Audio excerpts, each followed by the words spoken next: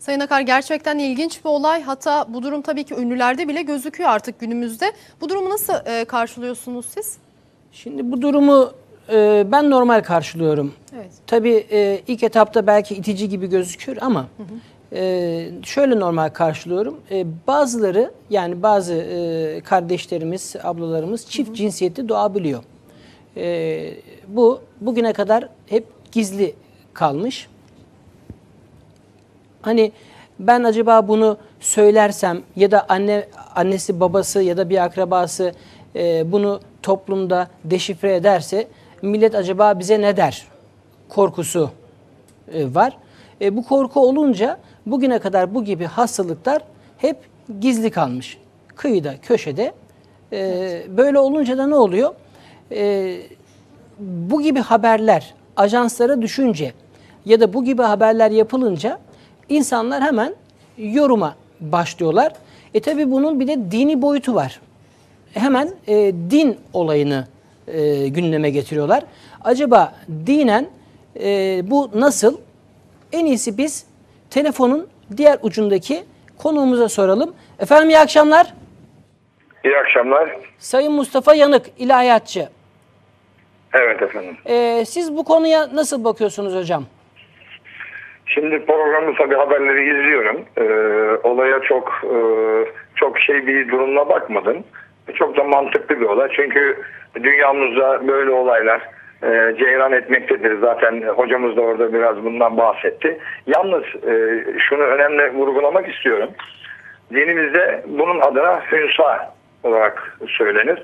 Yani çift cinsiyetli. Ee, ben burada bir özellikle bir olay söylemek istiyorum. Ee, nereden kaynaklandığını özellikle bütün e, vatandaşlarımız ve halkımızın bilmesi açısından çok önemli bir yere parmak basmak istiyorum. Aslında bu çift cinsiyetlinin ana merkezi Hazreti Adem'dir. Yani Hazreti Adem yaratıldığı zaman çift cinsiyetliydi. Hem erkeklik hem dişilik kendisinde var idi. Ve e, bu ülket içerisinde Hazreti Adem kendisi e, bizatihi e, Havva anamızın doğması ve yaratılması kendisinden tecelli etmiştir.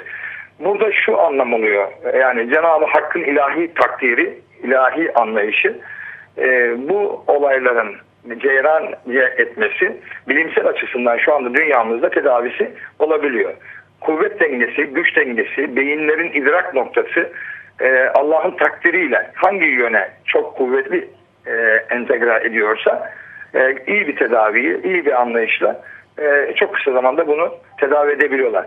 Bunu çok büyütmeye veya böyle olayların e, insanları rahatsız edecek bir duruma geleceği mümkün değildir. Çünkü Hazreti Adem de bir hünsaydı. Hem erkekli hem dişiliği vardı. Kaynağı oradan gelir efendim. O zaman hocam şunu diyorsunuz. Çift cinsiyetli ise mutlaka bir tanesini seçecek, tedavisini görecek diyorsunuz. Bu abes değil diyorsunuz. Peki şunu da kısa olarak e, sorabilir miyim?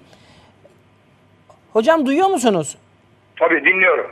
Şimdi normal bir vatandaş, normal bir erkek ya da normal bir kadın e, keyfi olarak ben erkek olacağım derse kadın ya da er, kadın olacağım derse erkek. E, bu normal değil ama değil mi? Bilmiyorum. Siz nasıl Şimdi, yorumlayacaksınız? şimdi efendim bu çok güzel bir soru aslında. Şimdi beni e, daha güzel bir yöne e, getirdiğiniz için teşekkür ediyorum.